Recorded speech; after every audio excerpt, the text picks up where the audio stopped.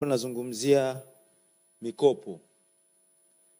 Ah, niseme tu kama katika matanguli, utangulizi wangu wa, wa awali aa, masuala yoyote yanayohusiana na fedha ikiwa ni pamoja na mikopo yanahusika na msimamizi wa masuala ya kibenki ambaye ni BOT.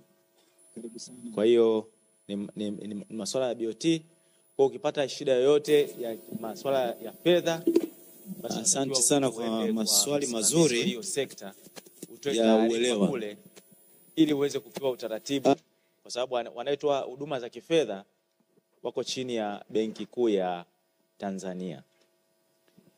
Swali la pili, ah, umezungumzia kuhusiana na matukio ya ulaghai na likiwa linajihusisha na uh, tuma kwa namba hii na kwamba ni hatua gani zimechukuliwa.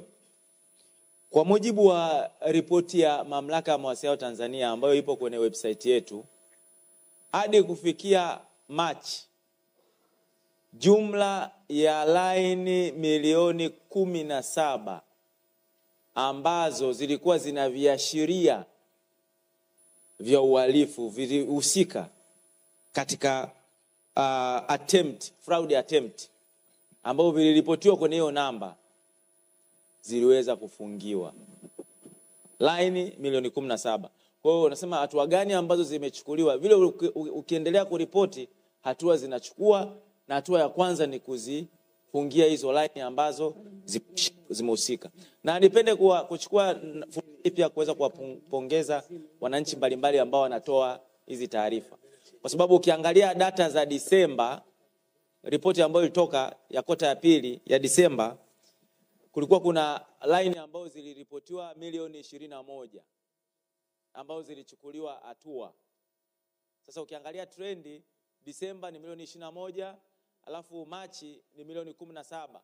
Kwa hiyo inaonyesha kwamba ni jitihada gani ambazo zimechukuliwa na hizi attempt zinaendelea kupungua. Uh, swala la mwisho kwa sababu hili la, la, la pili na la, na la tatu linaendana lote ni, ni, ni, ni, ni ulaghai na, na, tuma, na, na utapeli. Swala la nne uh, uh, kuna mtu ameulizia amesema kuna adverts ambazo anaziona kwenye mitandao na, na kwamba kuna linki ambazo yeye hajazifungua lakini anapata, ana- anapata maudhui yasiyofaa. Hatua ya kwanza unatakiwa, kwa sababu wewe kama umejisajili huko mtandao mtandao labda wa Facebook, ripoti ripoti, kuna, kuna, kuna guidelines zipo kwenye, ule mtu anayetumia mtandao. Ripoti kwenye, kwenye ule mtandao kwamba hii, hii cha content hii hapa ninairipoti kwamba ina bad test. Kwa hiyo itafika kwao na wataishughulikia lakini ukiendelea ukiona imezidi, wewe ufungue una, una hide. Mfano kama kwenye Facebook si uangalie, una hide, unaendelea una, una ripoti. Kwa hiyo zitawafikia kule, wataweza kuziblock. Kitendo cha wewe hizo linki ukuzifu, kama zimekuja labda kwenye, kwenye page yako ya, ya, ya Facebook alafu ukifungua ile linki tayari una unaiambia zile algorithm una- unaziambia kwamba sisi tunapenda hivi vitu au unajikuta unajiunga kwenye hivyo vitu. Kwa hiyo kuendelea kubaki kuwa salama, kutumia mtandao wako vizuri, na unapoona hii link ime, imekuja au ifahamu, unaihide lakini unairipoti. Itafika kwa yule ambaye ana, ana, ana mwenye, mwenye ule mtandao. Huo mtandao wa kijamii una wale wenye mtandao wenyewe watashughulikia wata, wata Asante.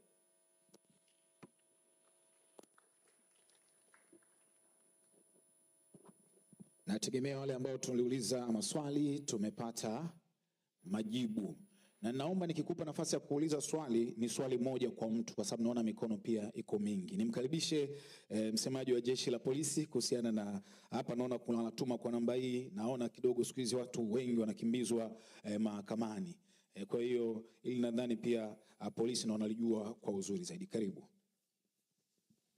Asante sana na mshukuru mjumbe aliyepita amejibu vizuri, lakini naomba tu niongezee machache kwamba ni hatua gani.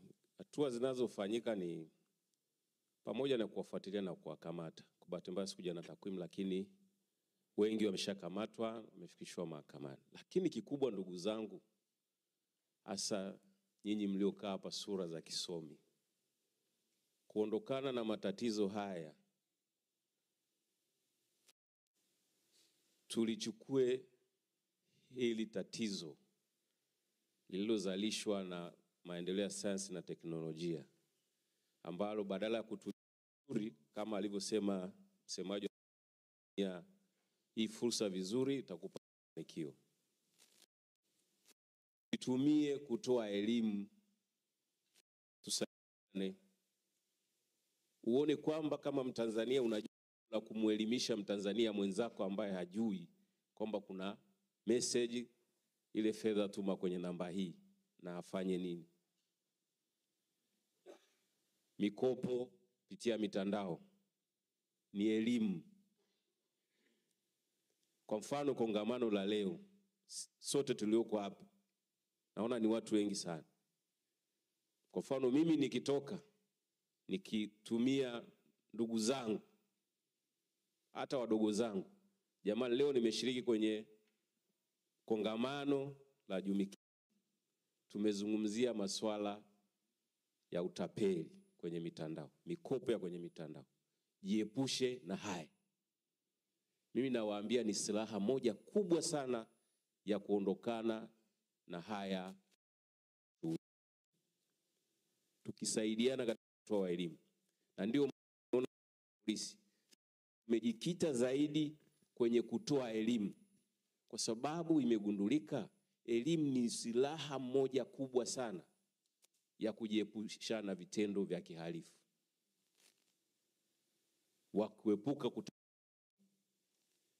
Kwa tuliobahatika kusoma hadi tukafikia kwenye vyuo, hebu tutumie hiyo elimu na vifaa ambavyo tunavyo vya kielektroniki, tuelimishane. Tukielimishana ili tatizo, hatakuwa na maswali kwamba mbona mnaachia hili swala sisi kama jamii, kwa nini tusielimishane kuanzia ngazi ya familia kwamba kuna tatizo hili, tujiepushe nalo kwa namna hii?